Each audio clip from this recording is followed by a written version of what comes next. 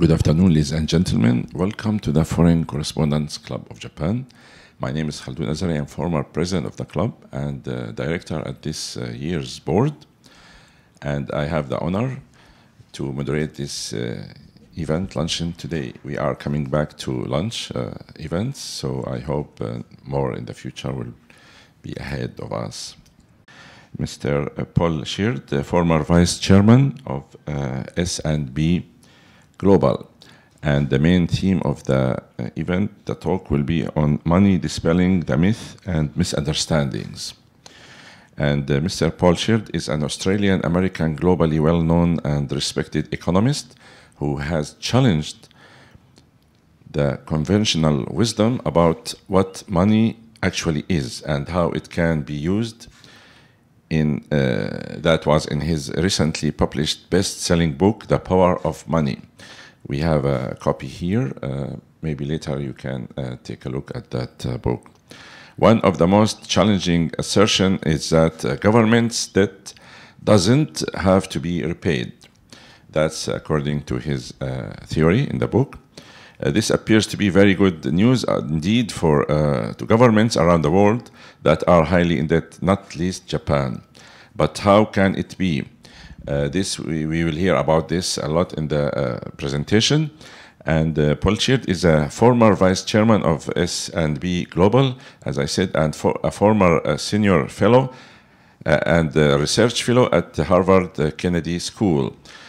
he held chief economist positions also at uh, Nomura Securities and Lehman Brothers and was Jan Japan's strategist and head of Japanese investments at Baring Asset Management. He was lecturer in economics at the Australian National University and associate professor of economics at Osaka University. He speaks Japanese also, by the way. Uh, uh and he held the visiting positions uh, at uh, Standard University, Stanford University, and uh, the Bank of Japan.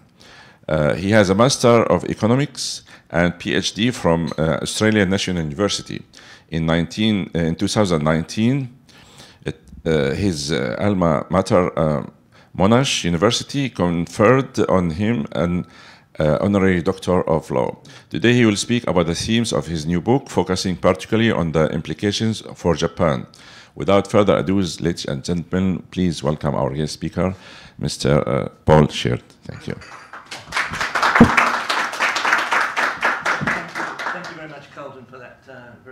generous introduction, and uh, may I say that it's always a distinct uh, honor and pleasure uh, to be presenting at the uh, very august uh, Foreign, Foreign Correspondents Club of Japan, even in your new location. I used to enjoy the old location as well, but they're both very nice venues. Um, so thank you for giving me the, the opportunity to share uh, some of my thoughts about my new book, the power of money. Um, if you look in the book, you will not actually see a chapter on Japan, but a lot of the uh, ideas and the thinking behind the, the book come from my uh, 17 years living in Japan and studying the uh, Japanese economy, and particularly uh, its monetary policy and fiscal policy. So I, in, in, writing this book, I wanted to write this book for a general audience, not for kind of a technical audience of economists or you know policymakers per se. Although hopefully they will find that uh, the, the, book interesting and, and, stimulating and maybe controversial. Um, but I wanted to uh, really focus on uh, the sort of basics of money. And money's a little bit like water is to a fish, in the sense that you know money is intrinsic to the economy. Everybody knows about money. Everybody worries about money. Um, everybody uh, has some money, hopefully. Um, but there are a lot of kind of misunderstandings, if you like, myths even, about some fundamental aspects of money. And so I try to kind of explain the basics in the book. Now, I'm an economist, and uh, economists tend to look at money a, a couple of ways. If you pick up any economic textbook, introduction to uh, economics, or you turn to the chapter on money, I can guarantee in the first page or so there'll be a statement that money is a unit of account. That is, we, we count things in money, yen in Japan, dollars in the US. It is a medium of exchange. It's very important that we can use money to exchange for goods and services uh, rather than operate in a barter economy where you had to do you know, exchange goods. So money allows the economy, the wheels of the economy to turn because it's a very convenient form of exchange. And then the third function that will be talked about is money as a store of value. Money is purchasing power medium of exchange, and you can transfer that purchasing power through time to next year or 10 years' time, 20 years' time. Uh, so it's a store of economic value or purchasing power. So, but that definition of money is kind of describes the functions of money. And then that usually goes into a discussion that many different things can become money, even cigarettes in prisoner of war, uh, among prisoners of war in, in, in uh, prison camps, or shells in Pacific Islands, or even big rocks in some uh, locations. So lots of interesting stories like that. Um, but it tells you sort of what money has to, uh, what functions it has to serve to be regarded as money. The second thing, then, economists will tend to leap to measuring money. And we have these various M's, M for money, I guess. M0 or monetary base, which is basically the money that uh, is issued by the central bank. So the, the right-hand side of the central bank's balance sheet. So that's uh, reserves, accounts that commercial banks have at the central bank, and banknotes in, in circulation. That's M0, and then there's M1 and M2 and M3. And so what economists do there is try to define or measure uh, various kinds of money. So, you know, money sitting in bank accounts, money sitting on term deposit in bank accounts, uh, money in uh, money market mutual funds, etc., etc. Uh, so that's that's all well and good, and there's lots of debates about you know which part of the money supply or the stock of money should be in what category. Um, you all get a little bit confused after a while. But what that doesn't tell you is uh, a more interesting question to me, or at least something I think is, is, is basic question that citizens should understand, is how does money get into the economy to begin with? How does money get into circulation? And again, if you read the uh, economic uh, textbooks or monetary history books, there'll be a lot of discussion of historically how the institution of money evolved from coins and you know, banknotes uh, and uh, gold and bullion and etc. and sort of history of how central banking came into existence, etc., etc. So this book doesn't talk about that so much, but rather starts by saying, well, how does money get into the economy? And I usually find myself at this point reaching for uh, well, in Japan, it will be a, a 10,000 10, yen uh, bill. I usually, I think I have a a $20 bill here from uh, the US. But this is, is clearly the, you know, the very basic form of money. And you could ask yourself, well, okay, I have this in my wallet. How did this money get into uh, existence? Um, now, maybe I got it when I went to a shop for change, or probably I got it from the bank, from the ATM. But that means it came out of a bank deposit. Uh, and bank deposits are a part of again, money supply M1 or M2, depending on how, you know, whether it's a demand deposit or a, uh, a term deposit. So then you could just reframe the question, well, how did the money get into the bank account to begin with? Well, you might think, well, you know, I work and my employer put the money in my bank account. Every payday I get my money. But that just shifts the question one stage. Where did your employer get that bank deposit from? Well, they sold some newspapers or they sold some products. So they got it from their customers. But again, where did the customers get the money from? So you go round and round in circles. So enough suspense. Uh, there, there are three, really two to three main ways in which money gets into the economy. Uh, and I'll, I'll, I'll, talk about them uh, in the context of sort of the myths and misunderstandings. So I'm, I'm going to share with you five kind of misunderstandings, common misunderstandings about the money system, the monetary system. Um, now, the first one is a, a misunderstanding that runs very deep, which is that banks, when they lend, you know, banks lend money, and many people think that banks take in deposits, collect deposits, and they lend those deposits to their borrowers. Now, uh, that's not true. Actually, what banks do is they create money when they lend. The act of a bank making a loan is the very act of creating money. Credit creation, lending is money creation.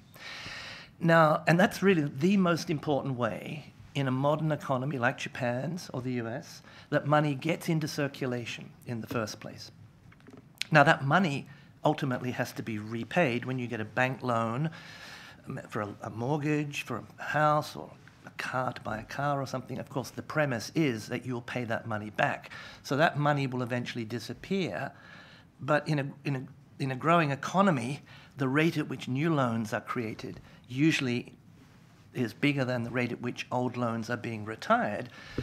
So bank lending tends to create a net amount of money, a substantial amount of money. I mean, in Japan at the moment, the end of the uh, March, uh, there was something like 577 trillion dollars of bank lending. And if we look at money, if we look at M2, for example, something like 1,240 trillion yen of bank of of, of demand and, and term deposits and cash in circulation, etc. So these are big numbers. By the way, the Japanese economy is about, uh, at last count, something like 589 uh, yen. 589 trillion yen. Um, so, you know, quite a few trillion dollars. So these are big numbers. So that's one of the main ways in which money comes into existence. Now, it doesn't feel like that to an individual bank because when a bank makes a loan, the premise is the borrower is going to take that money and spend it, use it for some purpose, buy an asset or take a holiday or do something with it. So the bank will typically, the deposit money it has created will lose that money, it will go to another bank. But oftentimes, if it's a big bank, some of that money will come back into it again. But other banks will now find themselves with more deposits, and uh, that money will circulate in the economy. So, for the banking system as a whole, uh, loans are essentially self financing because they, the loan itself creates the deposit, the deposit moves around. But at the aggregate level, uh, and it's always very important to bear in mind the distinction between whether we're looking at the monetary system at an aggregate level or at an individual institution level. You get different answers, but aggregate level, uh, it, that's the, the case. Now, the second kind of myth or misunderstanding, and it's already kind of been alluded to by Khaldun, is that this idea that budget deficits, the government running a budget deficit, is somehow bad you know, if possible, it would be better to have a balanced budget, maybe even a surplus. Uh, and the government is often compared to a household. I mean, we cannot keep running deficits, we'll go bankrupt, so how can the government run deficits? Well, that's the wrong way to think about it. And a budget deficit is simply uh, occurs when the government is putting more money into the economy, essentially writing checks, issuing IOUs, like these bits of paper, but in electronic form, then it's taking out of the economy in taxes. And most governments run a budget deficit. So if the, if the government is injecting more money into the economy than it's taking out, that's a budget deficit. That's actually creating money. And so budget deficits are the second way in which money is created and is injected into the economy. So just as a first pass at budget deficits, um, I, you, know, you can actually think of them as being a, a, a, good thing, a necessary thing. It's one of the ways in which money gets into the economy. And the very first words in my book are from the cabaret uh, Broadway show Money Makes the World Go Round. Without money, we would not really have a functioning economy generating this much prosperity.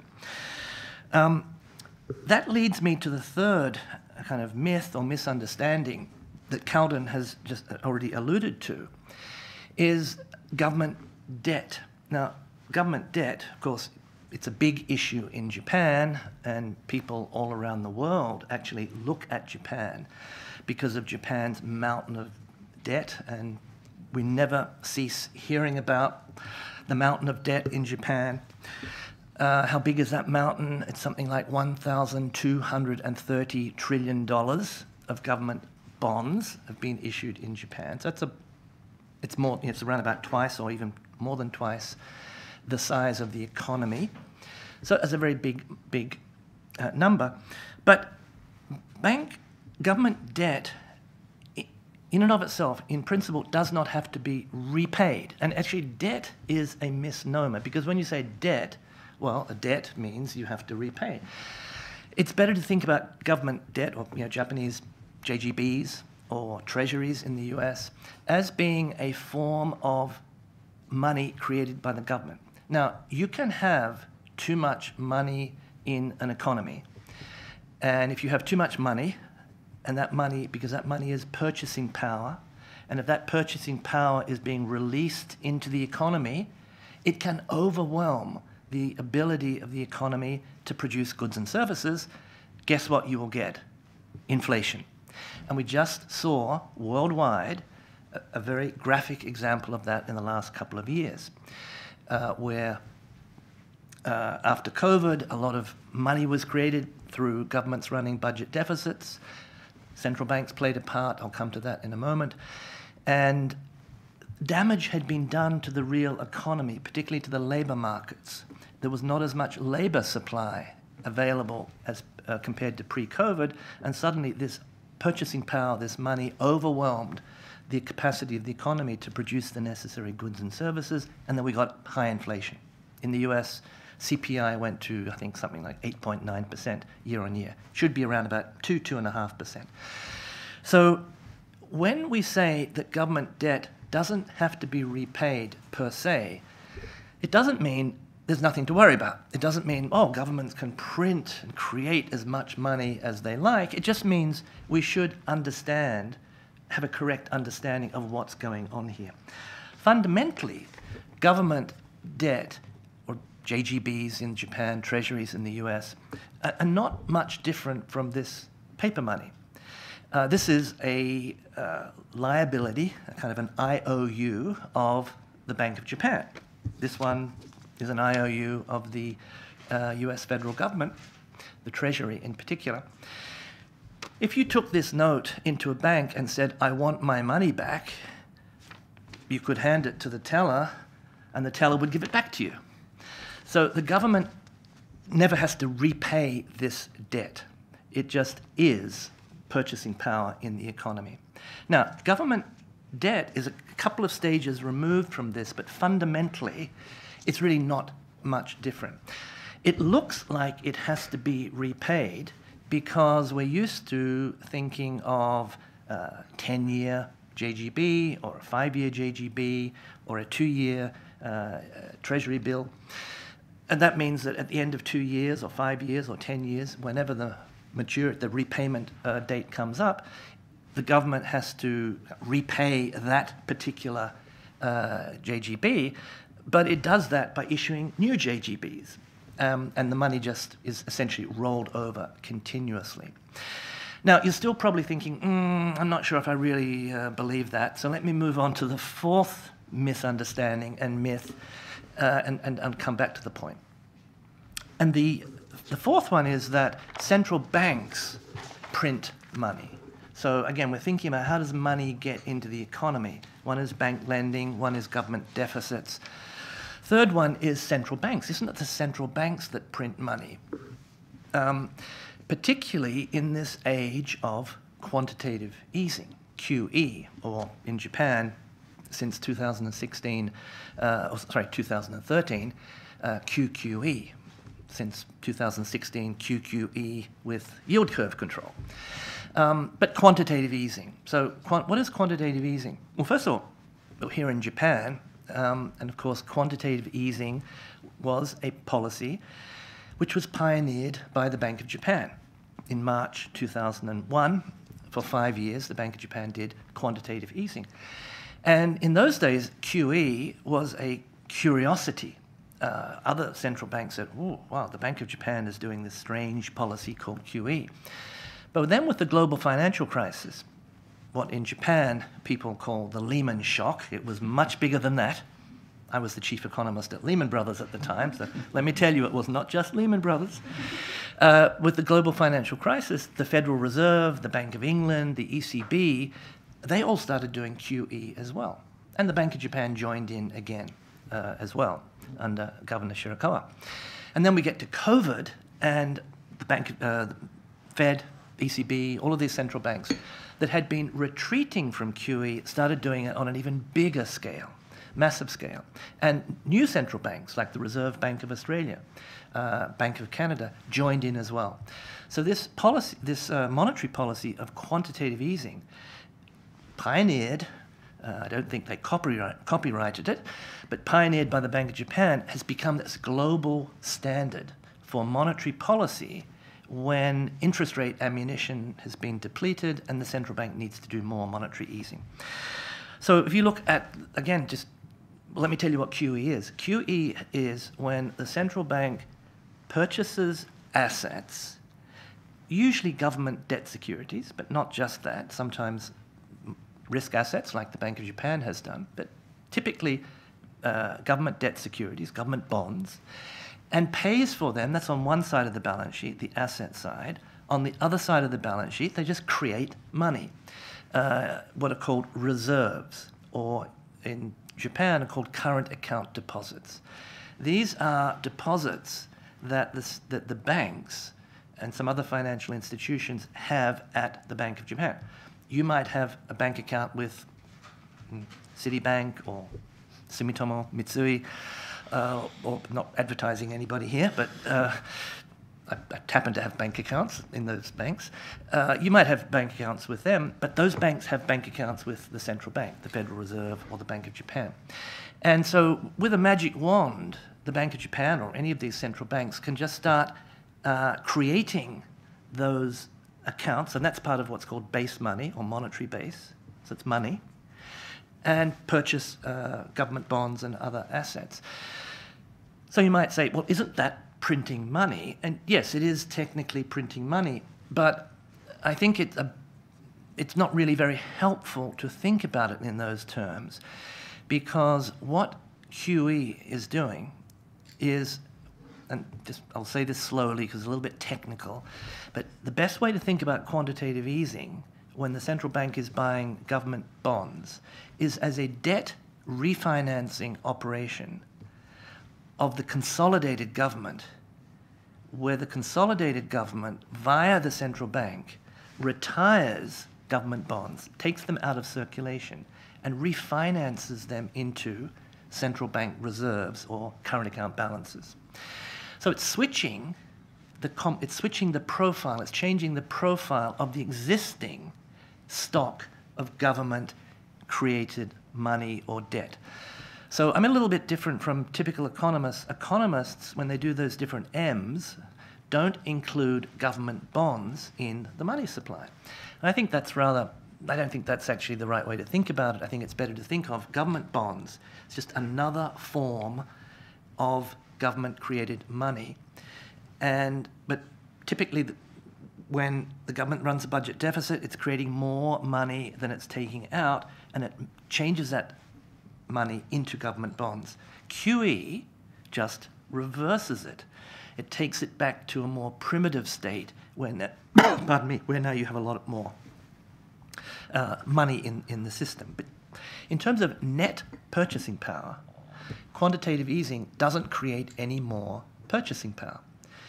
You, you take a a yen of government bonds out of the system and you put a yen of current account uh, deposits or reserves back in. So the net injection of purchasing power through QE is actually zero. Now that you might say, well, hold on a minute. If that's the case, why bother doing it? Well, there it does have some effect on monetary conditions and financial conditions.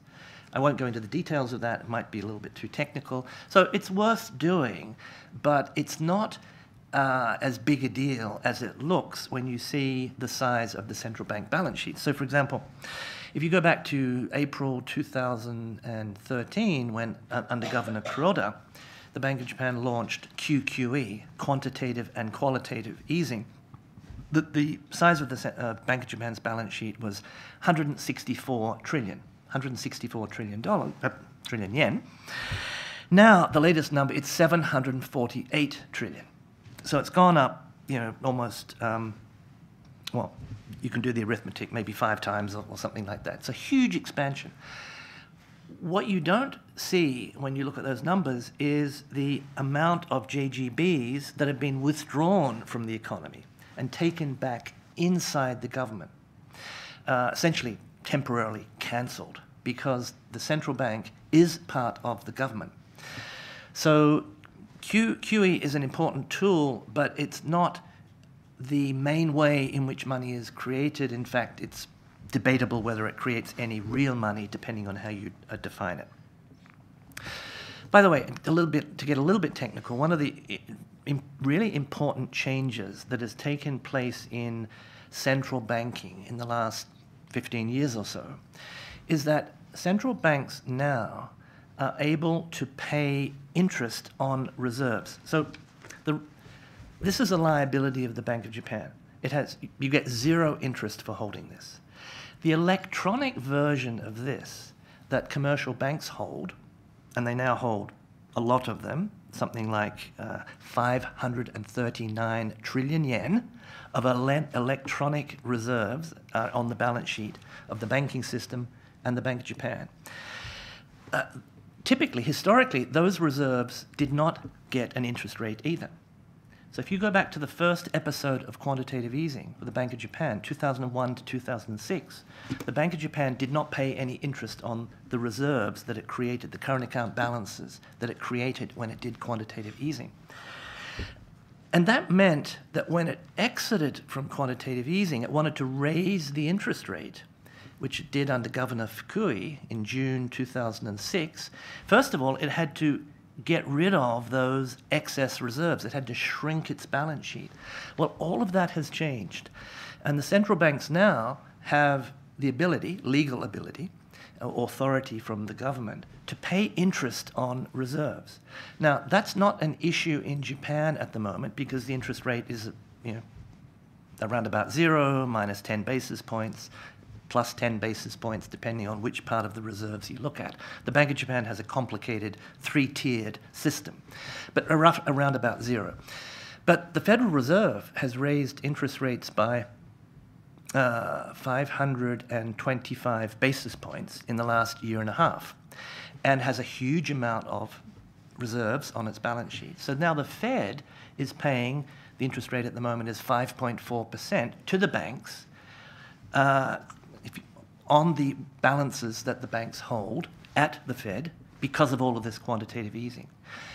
And a lot of people worry about that, but what that don't worry about it, sleep easy, because those reserves at the Fed or the Bank of Japan are in a sense just like government bonds because now the Treasury or the Ministry of Finance in Japan, they they don't really have to pay interest on those bonds. Well, they pay to the Bank of Japan, another part of the government, the money comes back again.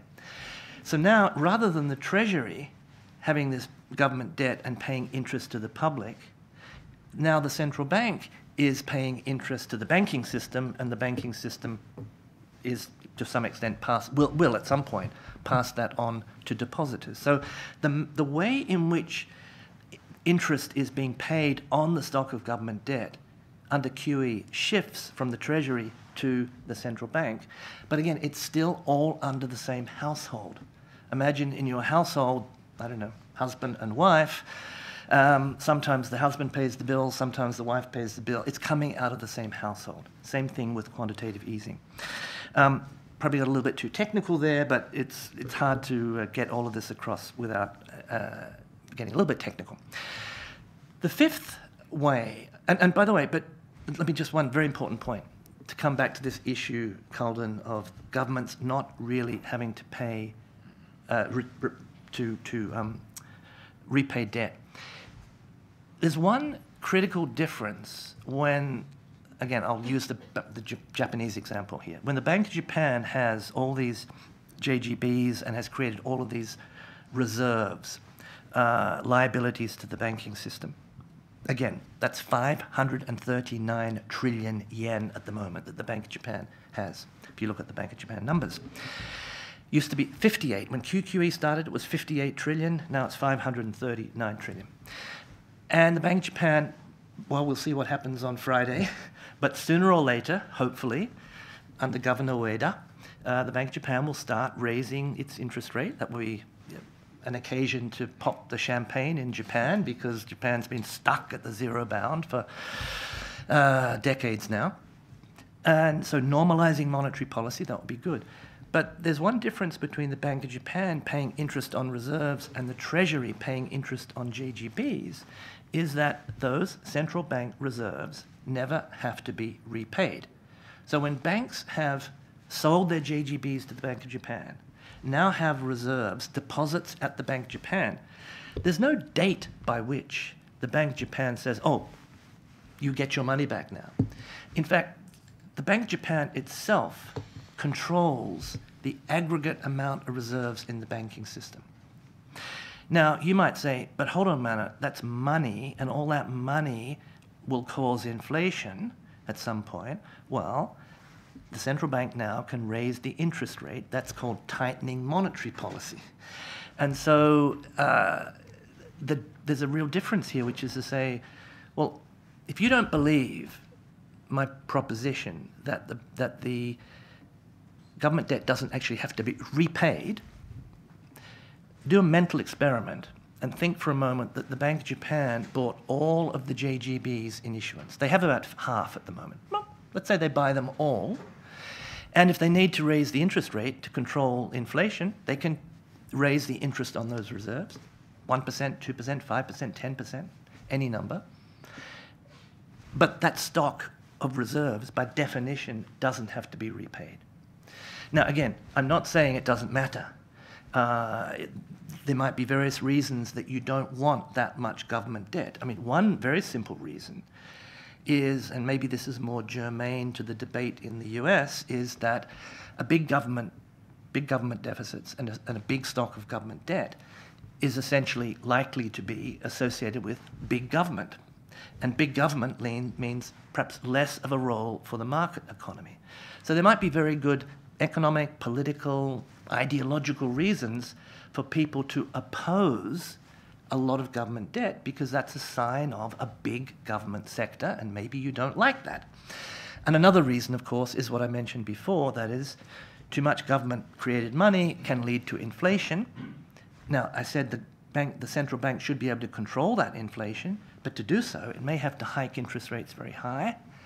And that can have negative effects on the economy. It can have distributional effects, monetary policy has distributional effects, just like fiscal policy does. So again, want to impress, I'm not saying here you don't need to worry about government debt. I'm saying, no, you can worry about it, but the government debt doesn't have to be repaid per se. So that should not be the reason that you invoke, or the Ministry of Finance invokes, or the politicians, the fiscal hawks, invoke not to have some government expenditure. And the, the last myth, I won't spend too much here because I think we're coming against the clock, is you have all these reserves sitting on the central bank's balance sheet and also on the banking system's balance sheet. And a lot of people kind of talk and think as if the banks could use those reserves to lend them out to the private sector. And that this big buildup of monetary base is a kind of inflation accident waiting to happen because the, the, banks might wake up one day and decide to lend those reserves. Well, don't worry about that either because banks cannot lend the reserves that they have at the central bank outside the banking system. They can lend them, and they do lend them, and they are supposed to lend them to other banks. But those reserves are essentially trapped inside the banking system. Um, they're not going to leak into the, into the real economy. Now, banks might decide to increase their own banking bank lending and create new money, as we talked about at the very beginning, but that's not directly related to those reserves per se. So sometimes people talk about this in terms of the money multiplier collapsing. Money multiplier means the ratio of broad money, something like M2, to narrow money monetary base. And because quantitative easing increases the monetary base, that ratio falls. And so some people say, well, you know, the money multiplier has collapsed, but it might go up again, meaning you know, a, a lot of credit creation might happen. But that cannot happen and will not happen directly because banks lend those reserves. They don't doesn't operate that way. Um, so let me stop there. I think we've covered a fair bit of territory. Um, three ways in which money gets into the system: bank lending, budget deficits, and to a certain extent, but not really, through central bank quantitative easing. Thank you very much for your insights. Very educational. And now we'd like to open the floor uh, to a Q&A session. Uh, please, if you have a question, raise your hand and proceed to the mic here so we can uh, record your uh, question. And uh, I forgot to welcome our people watching online this event. Who would like to take the first question? All right. Yeah, go ahead. Thank you. Yeah.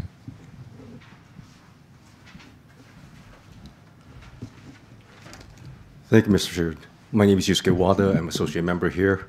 Um, for the past um, first, past session you were here in 2019, uh, November 2019, you talked about the mon monetary policies of Japan and the uh, GDP of the of back then.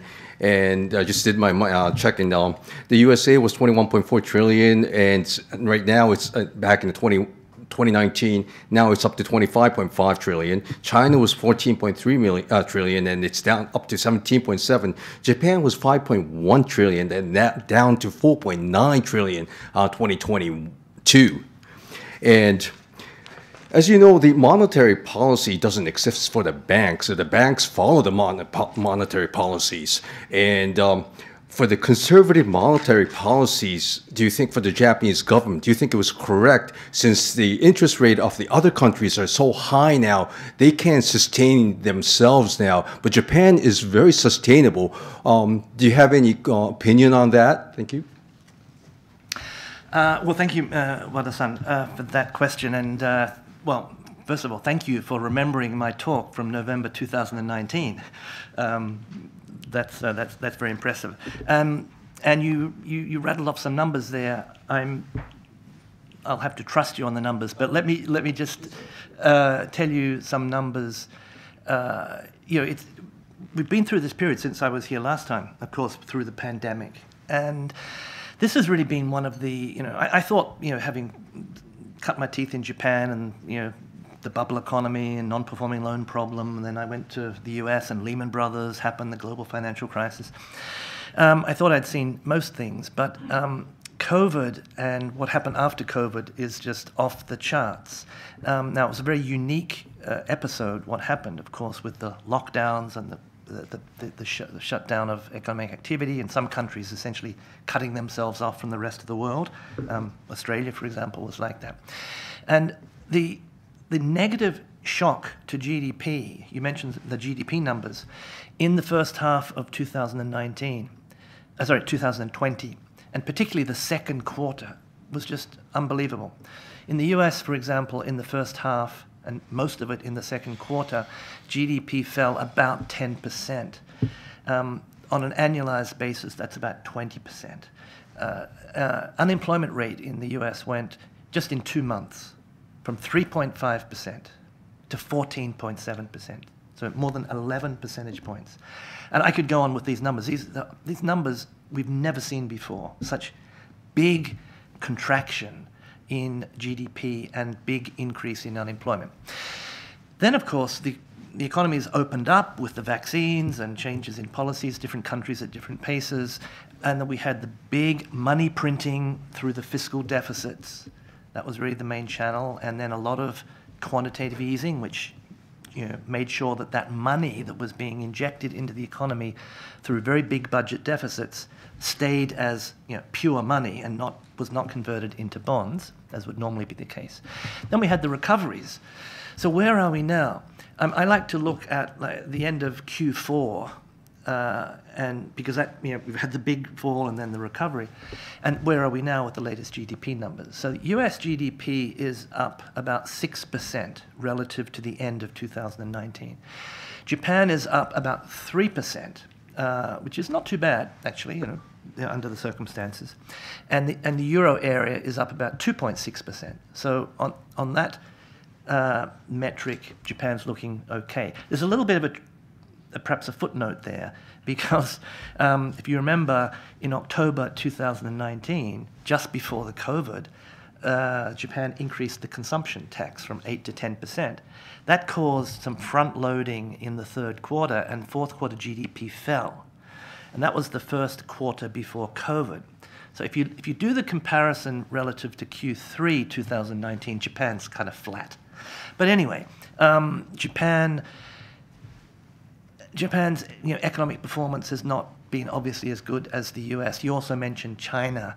Um, and of course, everybody at the moment is worrying about, well, a lot of people are worrying about China, the Chinese economy, and the unwinding of the real estate bubble or overinvestment, exuberance there. And I'm, you know, even myself, getting lots of questions like, do you think China is going the way of Japan into a kind of lost decades kind of scenario? Um, let me uh, let me just park that for the moment and come back to it. But just sticking with Japan for a moment. Uh, one thing when you look at the, the, the, most recent economic data is you know inflation has picked up in Japan as well. And that means that for the first time for many years, uh, G- nominal GDP is expanding faster than real GDP. And that's the normal situation for an economy. That's the effect of inflation. For the last two decades or so, Japan's been in, it's been flipped because Japan has had macro level deflation. Real GDP has been growing at a faster rate than nominal GDP. And that's, you know, there's a reason that we, society assigns to the central banks the, the role of securing about 2% inflation with its monetary policy is we want a bit of grease in the wheels of the economy. And everybody feels a little bit better, a little bit more warmer if there's a little bit of inflation, not too much, but a little bit of inflation. So it seems to me that when I look at the data, the good news is that you know, nominal GDP is actually moving up quite sharply at the moment, partly because real GDP is picking up, but actually a little bit of inflation is coming back. And I've been, as you may know, Wada-san, from previous um, talks I've given, uh, a big supporter of using very aggressive monetary and particularly fiscal policy to get the Japanese economy out of this chronic, mild deflationary funk that it's been in for a couple of uh, decades. And was, now, the Governor Kuroda did a valiant job with QQE, and we looked at some of the numbers before.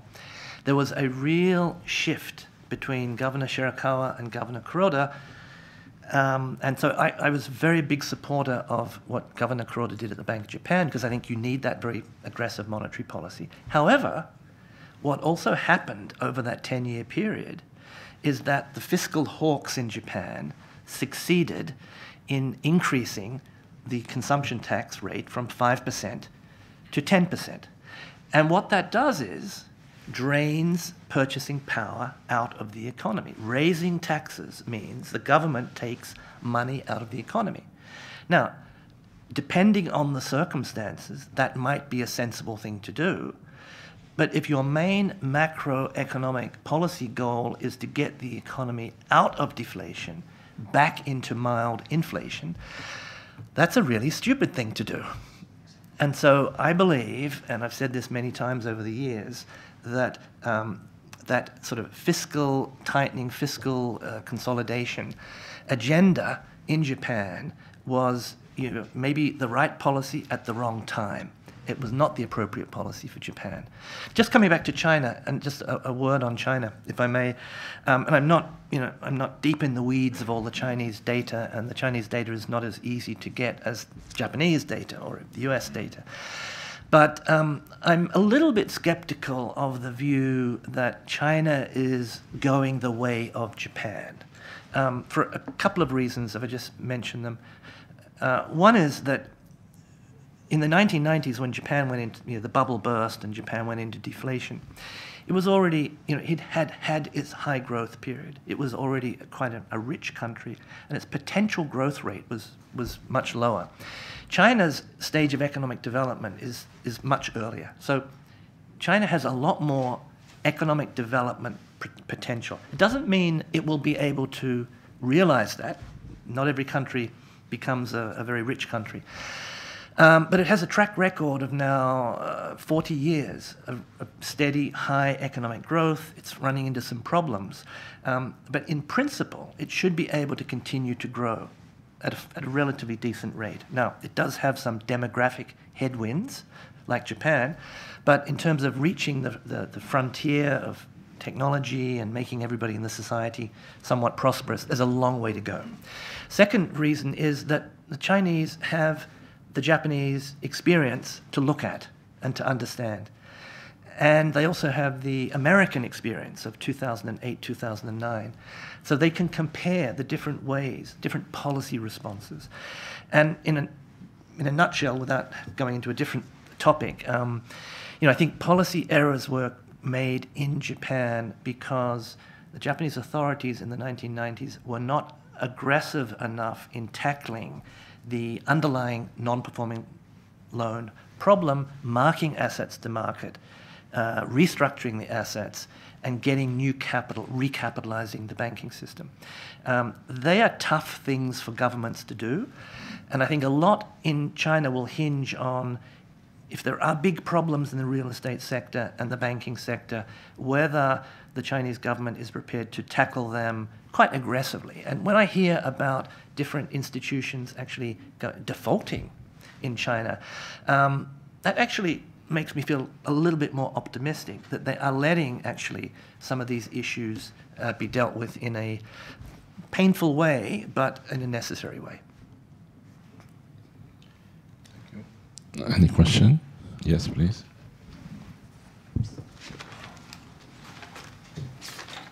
Yeah, um, I'm Yuri with the Associated Press.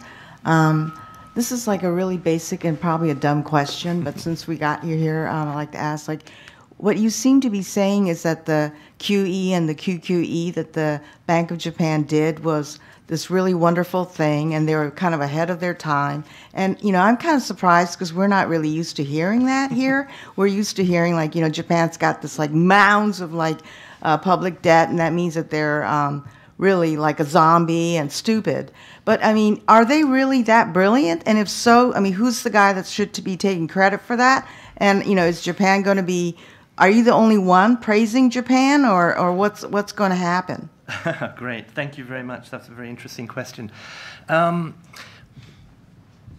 that's very interesting. Uh, so let me first of all say, okay, the, the, the, the, positive side of the balance sheet is if you look, so if you ask the question, who, who invented quantitative easing?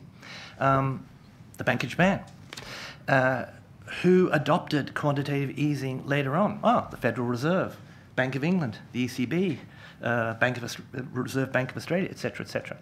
If you look at another uh, uh, very fundamental uh, policy tool of central banks now, it's called forward guidance.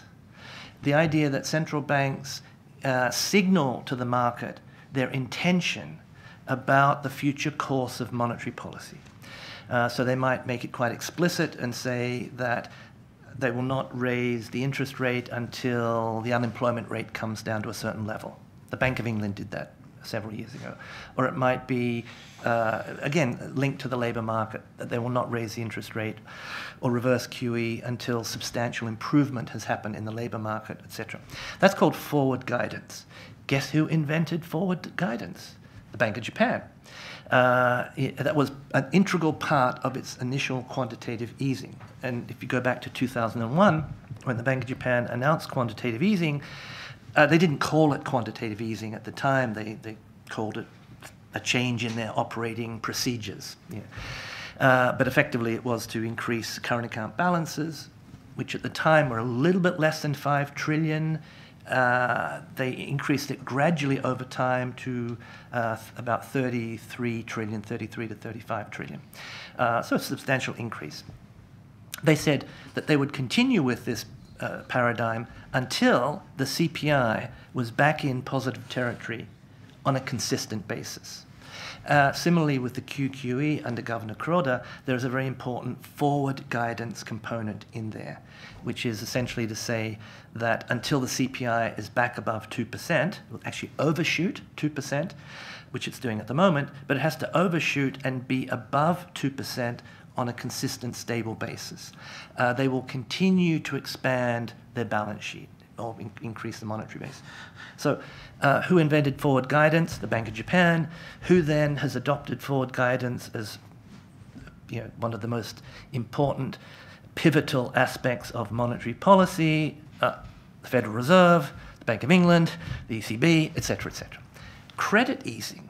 A big uh, new idea in central banking is this idea of credit easing as well. We saw that in a big way during the financial crisis.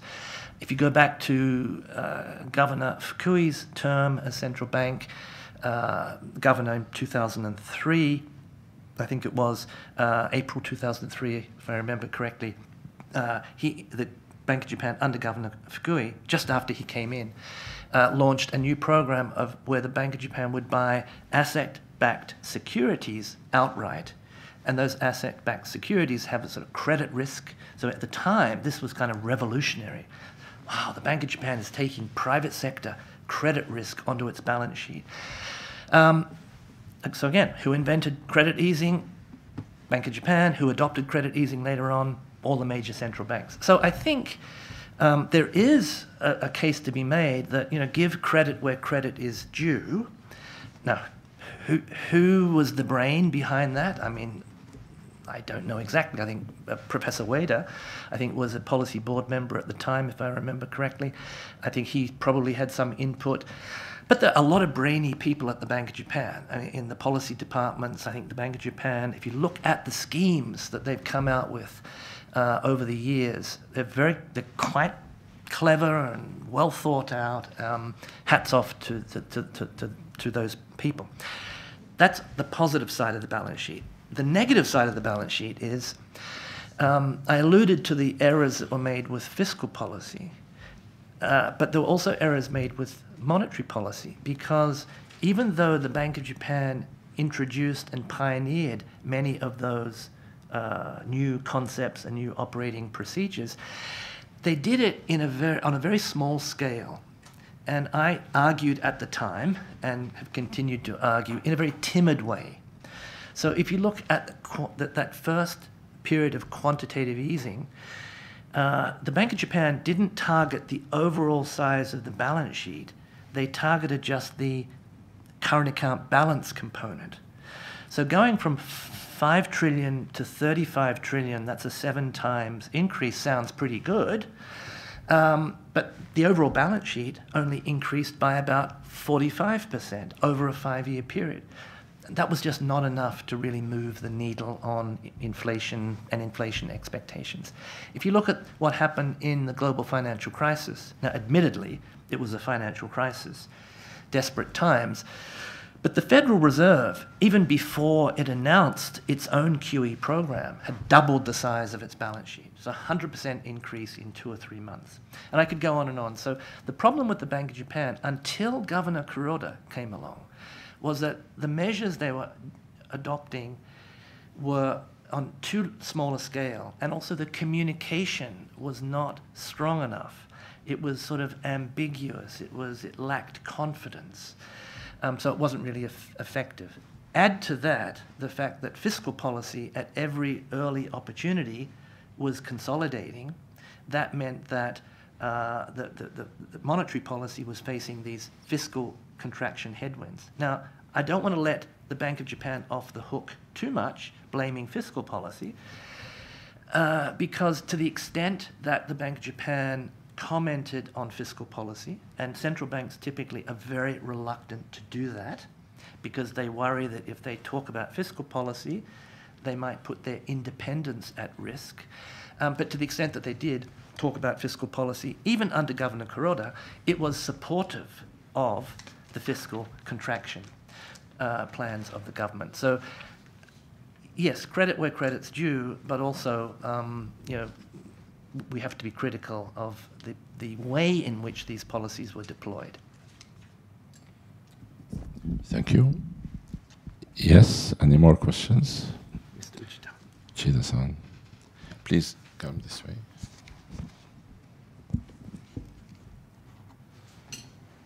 Uchida.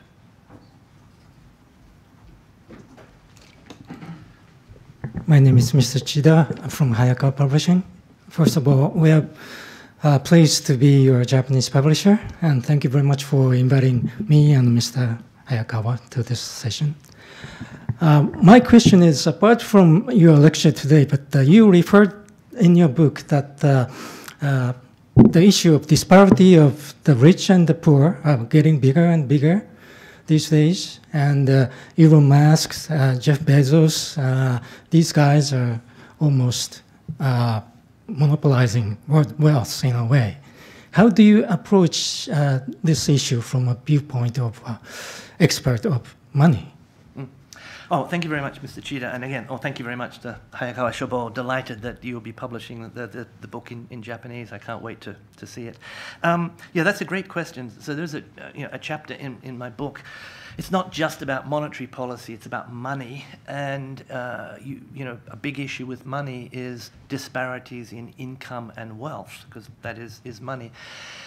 And, you know, look, there's a big issue about inequality. You know, Thomas Piketty wrote a famous book, Capitalism in the 21st Century, and you know, there's, there's a chorus of people worrying about inequality. What I decided to do in the chapter on inequality was perhaps offer a different perspective. And, uh, you know, of course, one has to be compassionate about people that um, you know have, have very low income, etc. But the question really becomes, how do you address that issue? And um, you know, attacking the rich and taxing the rich is probably not the best way to do it. And you know, what I point out, you mentioned Jeff Bezos, uh, for example. Um, you know, so you look at these people now; you might call them the uber rich. Uh, so Jeff Bezos, the, the, the uh, net worth of people like Jeff Bezos fluctuates, but you know maybe something like 180 billion dollars. You know, a billion is a thousand million. So these, uh, you know, Mark Zuckerberg maybe 120 billion.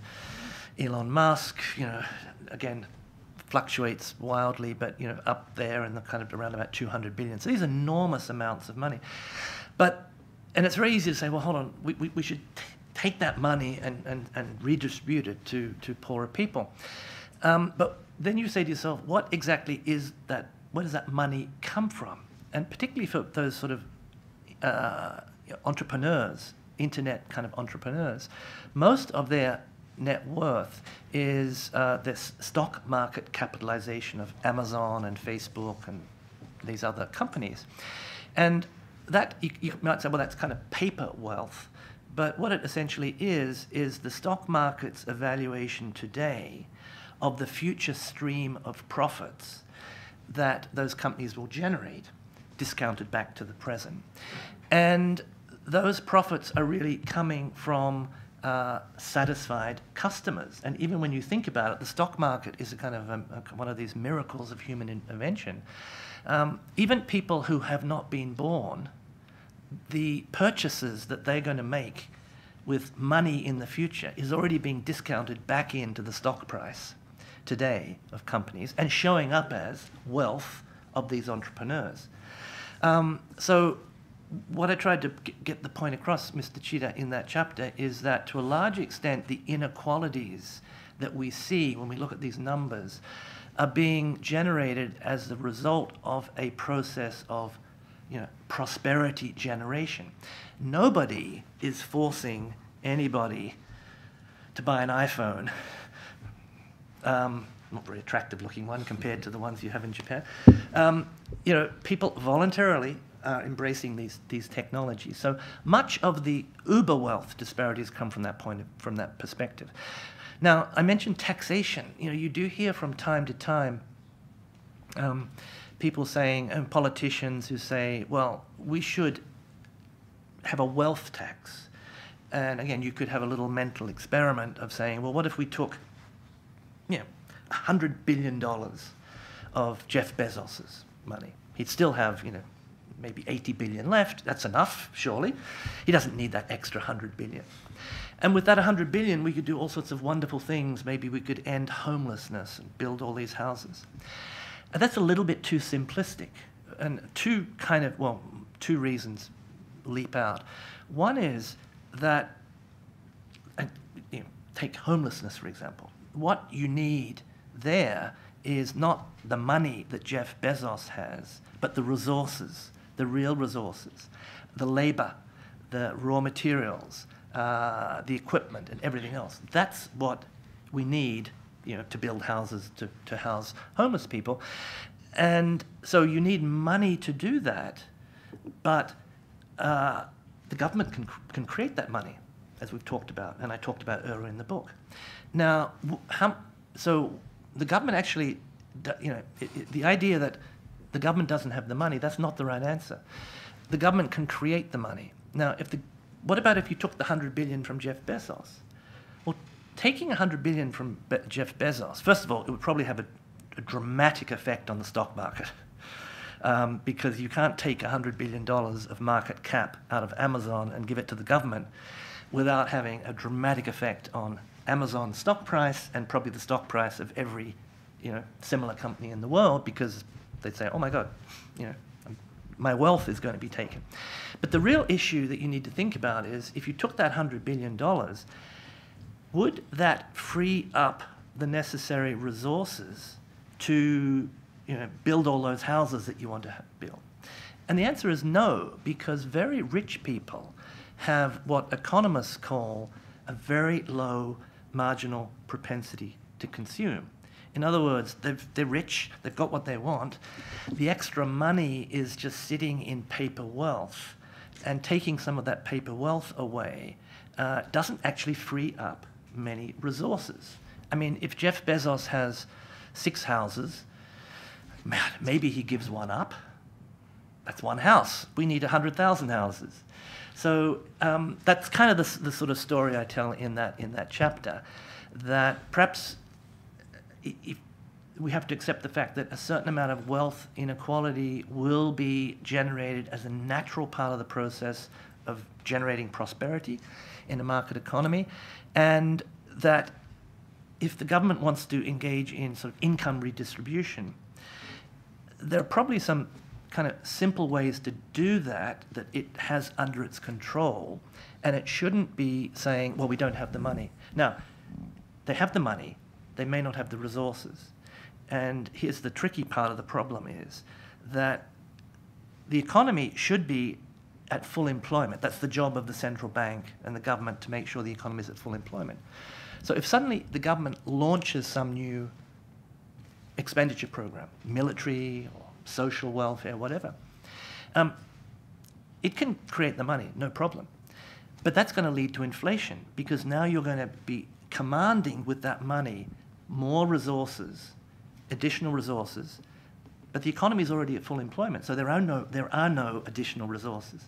So what's going to happen? The central bank, primarily, will have to tighten monetary policy, and that will lead across the whole economy for people to pull back a little bit on their economic activity. That will free up the resources, which will then indirectly be used in this new program. Milton Friedman famously called this no free lunch. So I'm sorry, economists are often the bearers of this more pessimistic news, but um, it's, it's, it's, it's a kind of complicated issue. But thank you for that excellent question. Thank you. Our club uh, receives uh, donation. I mean, we are allowed to receive donations, so we don't mind one billion dollar from this 180. Uh, we can use it for the freedom of press and spreading in, in Japan and yeah, in the of world. Of course, I cannot speak for Mr. Bezos. if you speak about that, please remember us here. Thank you very much. Um, before we close the session, I, I have uh, two small uh, questions. Actually, one is about the dollar yen value. How do you think this is influenced by the financial policy of Bank of Japan?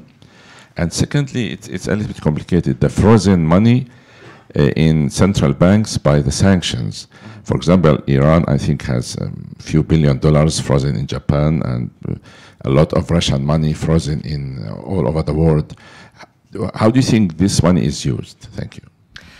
Uh, right. Well, the, two, uh, two great questions. So the, the yen dollar exchange rate, um, yes, it definitely is influenced by um, Bank of Japan monetary policy.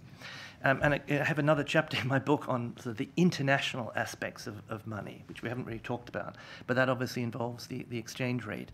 Um, and there's a, uh, there's a little sort of uh, very important sort of uh, rule or, or, or, theorem in uh, international economics called Mundell's uh, impossible trinity, which basically says that a country cannot have uh, a, an open uh, an open capital account, money coming in and out, a fixed exchange rate, uh, and uh, its own independent monetary control, its control of its domestic monetary conditions. It has to give one of those up.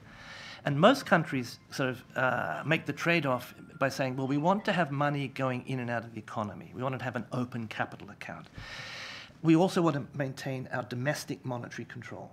So, in other words, the, the, the Bank of Japan's policy can be insulated from, say, the Fed's policy or from Bank of England's policy or whatever. And in order to do that, you need to have a, a freely floating or a flexible exchange rate.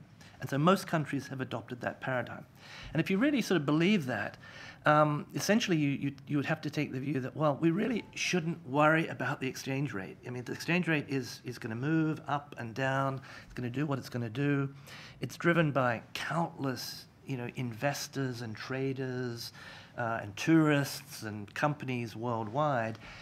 And it's a little bit like a, a buoy floating on the ocean. I like to use that metaphor. It'll just sometimes drift in one direction, it'll drift back again, etc. You can't really control it, and you shouldn't control it according to that fundamental theorem in international economics. Um, so, but, but what the situation in Japan, of course, is the yen has moved from you know maybe 100 to 110, 120, now 145, heading to 150, and the temptation is to kind of step in and try to do something. But you know, probably you want to resist the temptation to focus directly on the exchange rate and rather focus on the, the, the, the domestic fundamental issues. And so what's causing that, that widening to a large extent is the differential in monetary policy that the Fed, as I mentioned before, and other central banks have raised their interest rates because, you know, inflation's high, they're trying to get that under control, they've raised their interest rate. The Bank of Japan is still stuck at the zero interest rate bound and is still doing QQE. But you know, I think most people expect and hope over the next year to two that, or maybe even much, maybe six months, maybe one month, that process of the Bank of Japan being able to declare success on achieving its inflation target uh, and to start to you know, tighten monetary policy for the first time really in you know 30 years maybe, that process will begin. Um, you know, people are now looking at the Fed and saying, is this the peak of interest rates? Maybe next year the U.S. economy slows down, maybe goes into recession. The Fed will start to cut interest rates, and the Bank of Japan might be hiking interest rates. Uh, and that, of course, will lead the yen, because of the interest rate differential, to move, uh, you know, in a stronger direction. So, um, you know, again, I think, I think now, it's, it, it's a little bit, worrying about the exchange rate is a little bit like shooting the messenger. It's really a necessary part of, the, of that free market economy. On, on the frozen exchange rates, um, I do mention this towards the end of the book, um, pardon me, and you know, it gets into geopolitical territory and a different kind of set of topics, but viewed from a kind of a narrow economic perspective, um, it, I think it's a very bad idea. And you know, we have a, a situation where the U.S. dollar is regarded or is the dominant global reserve currency. Now, again, I won't go into what is a reserve currency, how does it become a reserve currency, but people like to use the dollar for trading, for invoicing, for financing, etc. And that brings many benefits to the U.S. Um, but if, and that what that means is that many countries end up with U.S. dollar foreign exchange reserves. Japan has a big pile. China has a big pile. Saudi Arabia, um, uh, Russia, etc. Now, if from time to time, for geopolitical purposes, the U.S. turns around and says, "Oh, we're going to grab those reserves. We're going to freeze that money. That's not your money anymore. we're going to use that money for some other purpose, such as reconstruction in Ukraine. That is, it seems, seems to me, a very short sighted policy from an economic point of view and will cause a, you know, will set in train a series of reactions uh, among countries that up until now have been very willing to use the US dollar as a reserve currency, there'll be a reluctance to do so. And I think we're already seeing things happening in the world in, you know, around China, Russia, Iran, BRICS, uh, where people are having these conversations. I was actually, when those sanctions in Russia were applied, um, was interviewed by the uh, South China Morning Post, and I made the comment, which I'll put on the public record here, that I can't believe that the Fed and the, and the Treasury were in the room when those decisions were taken. Because if they had been, they should have said, Mr. President, no, please don't do this. This is not, you can do a whole lot of other things, but this will not be in the national interest of the US to uh, bring into question the integrity of the US dollar as the dominant reserve currency. So, um, thank you for the question. Um, it takes me a little bit out of my comfort zone, but I think uh, it, it, it is an issue that needs to be debated more. Well, thank you very much for your insights. Uh, very educational and very exciting.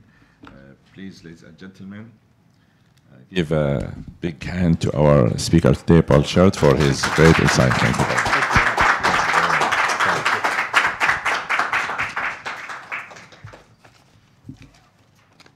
Don't you have Australian dollar? No, I do, but not, not with me here.